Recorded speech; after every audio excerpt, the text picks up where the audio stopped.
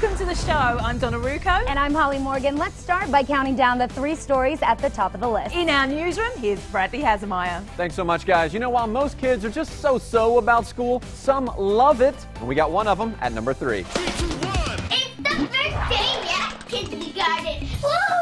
Six year old Adriana Duncan was really excited to go to school, so her dad strapped a GoPro on her to show everyone how awesome life is when you're in kindergarten. To set the mood, they put the video to Taylor Swift's Never Grow Up. Not that Adriana has a choice in the matter.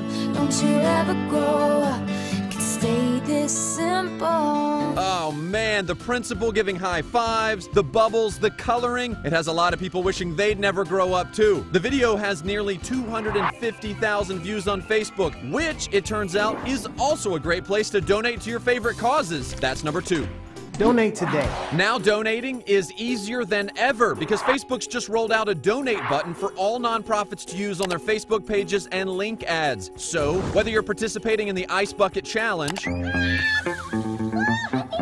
or you want to support an organization like the American Red Cross, It is your contributions that help victims of disasters, both locally and around the world. you can now do it with just one click. It does a lot more good than giving an obligation like to a picture of your aunt's kitten. From giving to a cause to giving back to your health, looking and feeling younger without spending a penny is our number one story of the day. I could have swore it was somewhere right around here.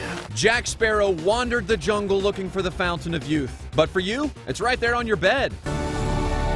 Dr. Joel Kahn says, quote, sleep may be the most important health habit to conquer in order to set the foundation for all other wellness activities. Not just that, but the National Cancer Institute and the National Institutes of Health found sleeping less than seven hours a day leads to a higher risk of heart disease and higher mortality rate. Hey, it's way better than us telling you to exercise, right?